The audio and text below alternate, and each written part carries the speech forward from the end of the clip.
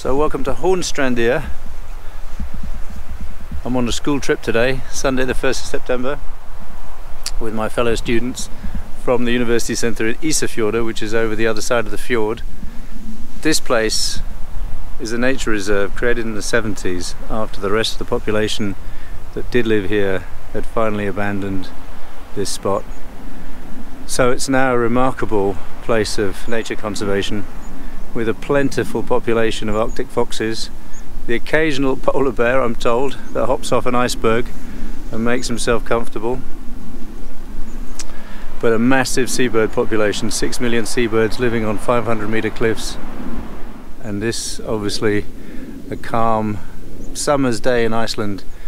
A far cry from what I'm told it's like in winter when they get 3 meter snow drifts and 25 meter per second winds. Anyway, we're gonna take a closer look up by the waterfall. See if I can show you around.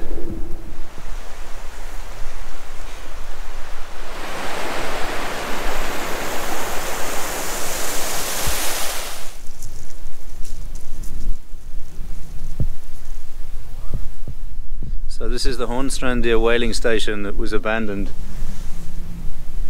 in about 1915 and then became a herring processing station. But uh, this is where they brought the minkies and the humpbacks in to make oil for street lamps.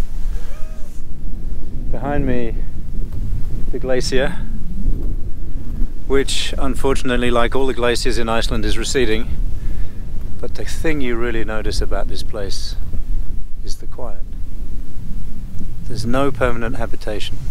There are no motor vehicles there are no roads, there are no tourists apart from a few campers.